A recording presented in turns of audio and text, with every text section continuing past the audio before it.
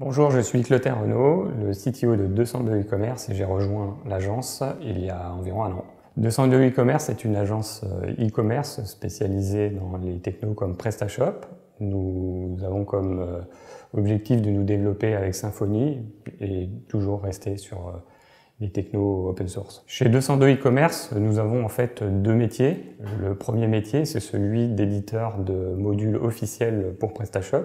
Donc on travaille avec des grandes marques pour développer euh, leurs modules, notamment des modules de paiement en ligne ou euh, des modules d'expédition. Ces modules euh, nécessitent en général une attention toute particulière à la qualité. Le deuxième métier, c'est celui d'une agence beaucoup plus classique, c'est-à-dire que nous développons les sites e-commerce pour nos clients et notamment toute la personnalisation du thème et des modules spécifiques pour nos clients comme brancher leur catalogue à leur ERP ou à une marketplace.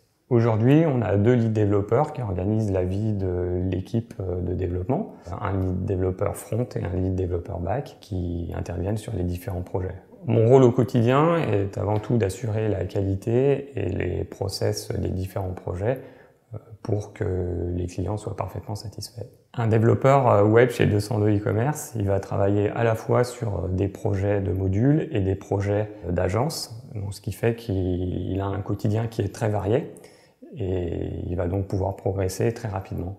Un développeur chez 202 e-commerce euh, ne s'ennuie jamais. Il intervient à la fois sur des projets de modules ou sur des projets de sites e-commerce, ce qui fait que c'est euh, des technos qui sont euh, très variés. Donc si vous êtes déjà convaincu, n'hésitez pas à postuler et si bah, vous souhaitez en savoir plus, n'hésitez pas à nous envoyer un message.